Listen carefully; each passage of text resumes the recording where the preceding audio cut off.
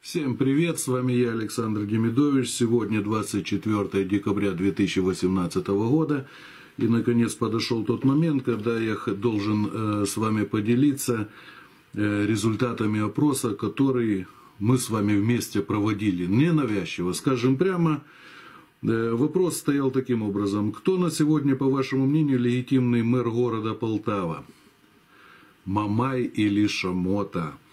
Но э, что я вам могу сказать? За Александра Шамоту, э, за то, что он легитимный мэр, проголосовало 36% э, участников опроса. Э, за то, что это Александр Федорович Мамай, это 64% проголосовало. Но э, кто не за того, не за того, мы сейчас говорить не будем. Итак, Александр Шамота имеет довольно-таки с одной стороны серьезный, с другой стороны, прямо скажем, смешной процент, 36%. Э, Все бы ничего, э, я бы, может быть, на этом и остановился, на этом анализе. Ну, 36 и 36, и бог с ним.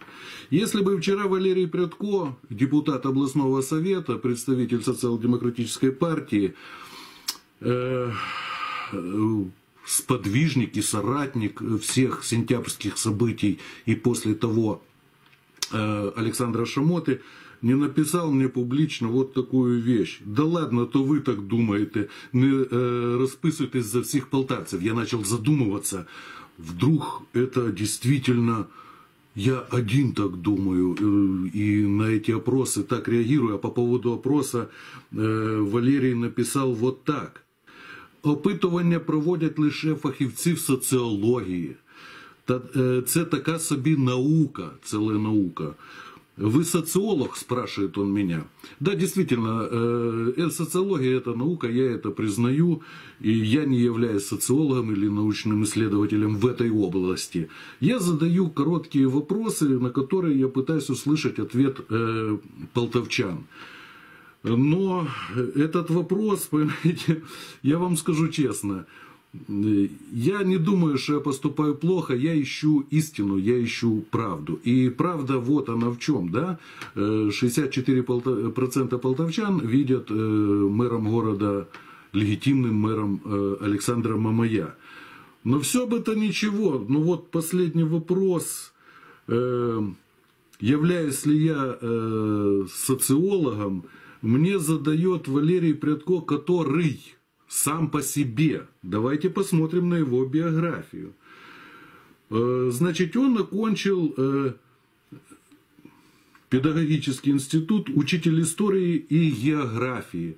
Э, большую часть своей жизни он работал в различного рода фармацевтических фирмах, реализуя их продукцию. То есть историк и географ занимался фармацевтикой. Мало того, он стал директором коммунального предприятия Полтава Фарм даже. Его взяли на два месяца на временный период.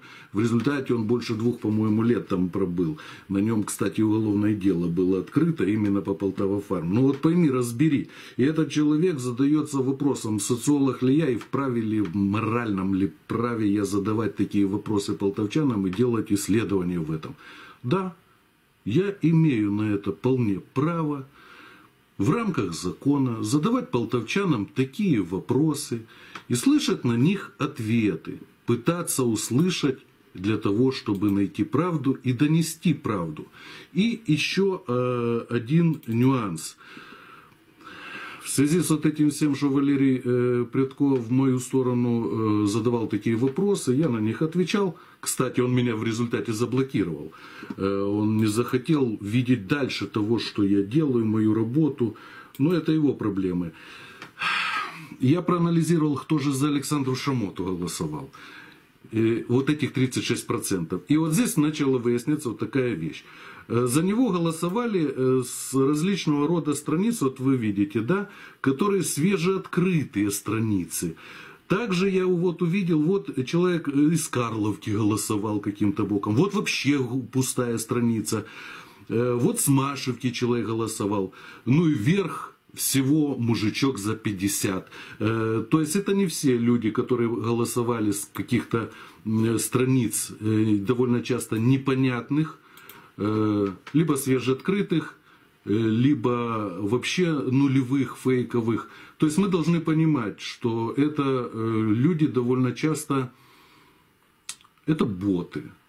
Ну, это так называется хотя бот это робот, ну а здесь это ботами уже можно называть этих людей.